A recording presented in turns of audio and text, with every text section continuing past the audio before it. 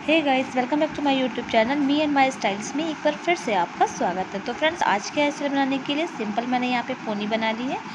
Pony बना के उसमें मैंने छोटा वाला डोनट बन इंसर्ट कर दिया है और फिर चारों साइड से मैंने यहाँ पे यू पिंस लगा करके डोनट बन को टाइट कर दिया। तो फ्रेंड्स आज की हेयर स्टाइल जो है तो शॉर्ट हेयर बनाना बता रही हूँ। अब जो पोनी का हेयर है, उसको मैंने यहाँ पे सिंपली थ्री पार्ट में डिवाइड कर दिया है। तो एक पार्ट आप देख सकते हो, ऊपर के साइड है और ये देखिए, इस तरह से मैंने थ्री पार्ट में डिवाइड कर लिया है। बीच के पार्ट को हम अभी क्लचर वगैरह में टाइट कर देंगे क्योंकि इसको अभी कुछ नहीं करना है।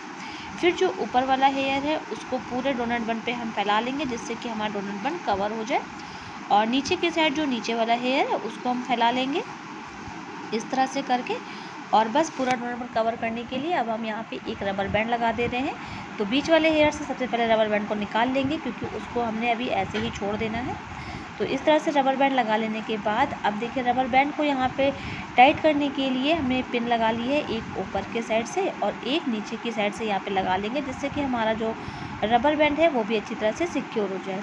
अब ऊपर की साइड से हेयर नीचे को करके यहाँ पे टू पार्ट में कर लेंगे और एक साइड के हेयर को हम ऊपर के साइड ही कोम करेंगे। इस तरह से करके कोम करेंगे और फिंगर की हेल्प से एकदम प्रेस करते हुए नीचे की साइड ले जाएँगे और उसके बाद दोनों हेयर को एक साथ कर लेंगे।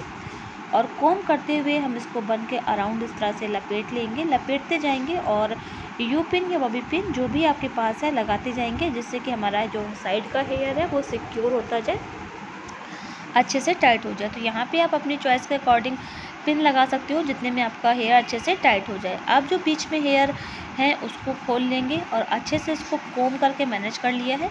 उसके बाद इस तरह से कुछ दूरी छोड़ते हुए मैंने यहाँ पे एक पतला रबर बैंड लगा दिया है। रबर बैंड लगाने के बाद जो उसके आगे का हेयर है, उसको सिंपल से मैंने एक ब्रेड यहाँ पे बना ली है। और ब्रेड लास्ट तक बनाने के बाद देखिए, इस तरह से अंदर की साइड मैंने फोल्ड कर दिया है। रबर बैंड जितना लगाया है, वहीं पे मैंने फोल्ड कर दिया है। और एक छोटा क्लचर लिया है, जो कि मैंने अंदर की साइड से बाहर की साइड लगा दिया है।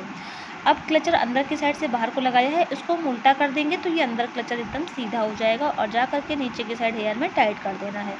ऊपर से हेयर को थोड़ा सा फैला के मैनेज कर लेंगे तो आप देख सकते हो कितना ब्यूटीफुल सा बन बन के रेडी हो गया है। शादी पार्टी के लिए बहुत ही ब्यूटीफुल है। तो आई होप कि आज का रेसल वीडियो पसंद आया होगा सिंपल इजी तो लगा ही होगा। पसंद आया तो चैनल को सब्सक्राइब कीजिएगा लाइक शेयर कमेंट करना बिल्कुल मत भूलिएगा। मिलेंगे नेक्स्ट वीडियो में नेक्स्ट रेसल के साथ, तब तक के लिए बाय